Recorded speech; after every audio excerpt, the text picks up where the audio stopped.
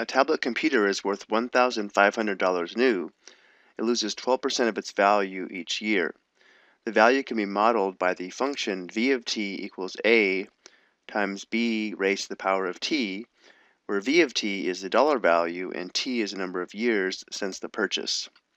We want to write a possible exponential equation for the value. So our function will be in the form of v of t A represents the initial value of the computer, which will be 1,500. And then we're going to have some base b raised to the power of t. So let's talk about how we're going to find the base of this exponential function. We know each year the computer loses 12% of the value, which means it retains 88% of the value. So after the first year, the value would be 1,500 times 0.88. This 0.88 represents the 88% of the value that it retains after the first year. After the second year, the computer loses another 12% of the value off this amount or retains 88% of this value here. So after the second year, it would be 1,500 times 0.88 times another 0.88. Again, the second 0.88 represents the amount of value retained after the second year, and this pattern is going to continue. After the third year, we'll have 1,500 times 0.88 times 0.88 times another 0.88. So the base of our exponential function is going to be 0.88, which is the percent of value the computer retains after each year. So to find the value after three years, we need to determine v of 3, so we'll substitute 3 for t and evaluate this on the calculator. So we'll have 1,500 times 0.88 raised to the power of 3.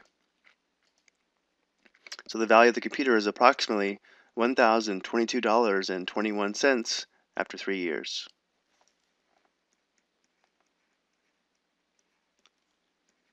And now for the last question, when will the value be half of its original value?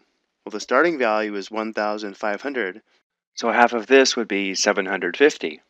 So we want to set v of t to 750 and then solve for t.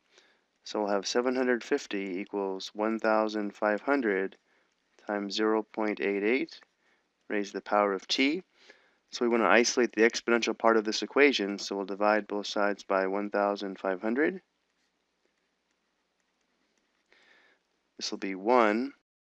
750 divided by 1,500 equals 1 half, or 0.5 equals 0.88 raised to the power of t. And now we can use logarithms to solve this for t.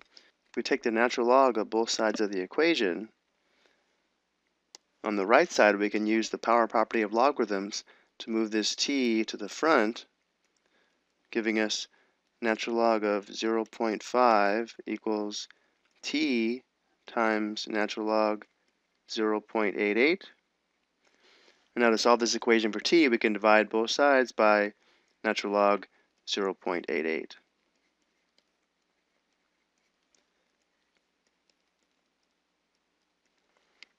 Notice here this simplifies to 1, so this quotient will equal t.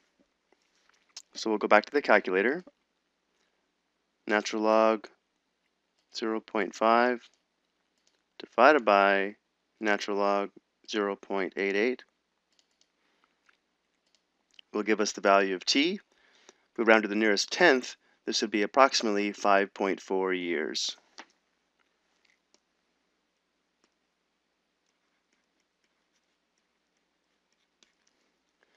So again, the value will be half of the original value after 5.4 years, or approximately 5.4 years.